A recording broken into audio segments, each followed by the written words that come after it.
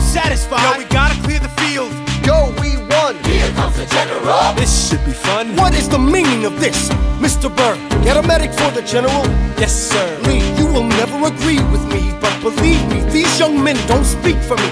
Thank you for your service. That's right. Hamilton, sir, meet me inside. Meet him inside. Meet him inside.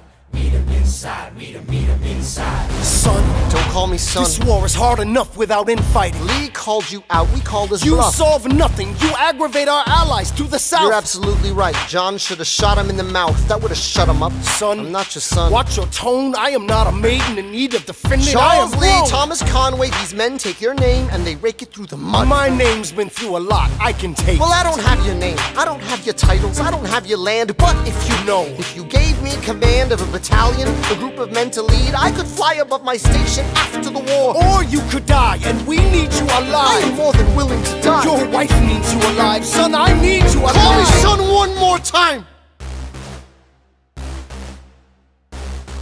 Go home, Alexander. That's an order from your commander. Sir. Go home.